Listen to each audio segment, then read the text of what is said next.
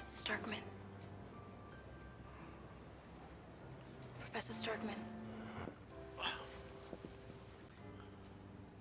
Oh, I'm just gonna hang around here during the break, Professor. I mean, I heard about the change in plans.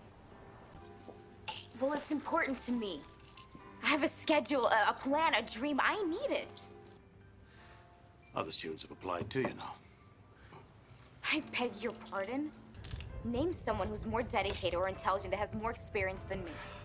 You don't even know what you're talking about. Go on home.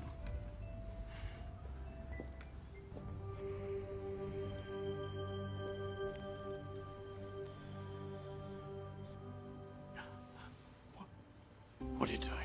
Shh. Just relax, Bobby.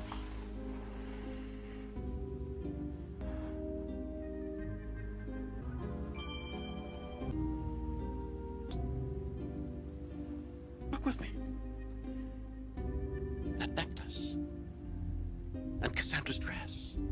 It was a present. Bobby, don't you remember? You gave it to me. Stop it. This instant. I said go home. I've had feelings for you for a long time now, Bobby. Oh, it is. But it was okay for you and Cassandra. Ever since I first saw you. Before Diana ever loved you, before Cassandra ever loved you. God, don't you get it? Six years ago. I was there, Bobby. You were my first crush.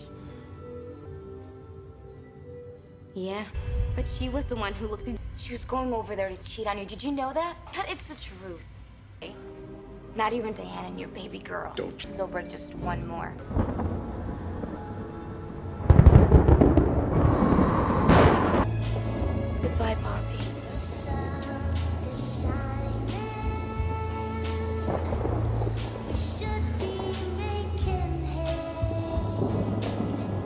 Hope you had a safe trip.